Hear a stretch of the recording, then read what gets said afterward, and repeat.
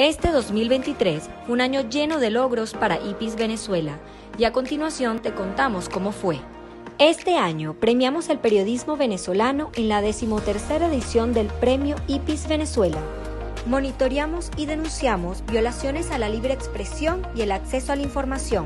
Publicamos los microsites Atlas del Silencio 2023 y periodistas que defienden derechos. Unimos a corresponsales de todo el país en nuestro encuentro de la red. Adaptamos historias periodísticas en propuestas de contenidos sonoros y podcast y celebramos el nacimiento del proyecto Radiodemocracia Electoral. Concientizamos sobre la situación de las venezolanas con el informe final de Mujeres Constructoras de Paz. Nuestra directora ejecutiva, Marianela Balbi, fue reelecta en el Consejo Global de IFEX y es electa como vicepresidenta de Sinergia. Además, compartimos con mucho orgullo que fue galardonada con el Premio Franco-Alemán de Derechos Humanos. Alzamos nuestra voz conmemorando los días y acontecimientos que defienden los derechos humanos.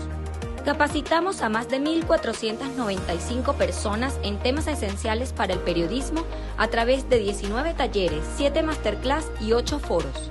Juntos seguiremos defendiendo la libertad de expresión, el acceso a la información y manteniendo nuestro compromiso con el periodismo de investigación.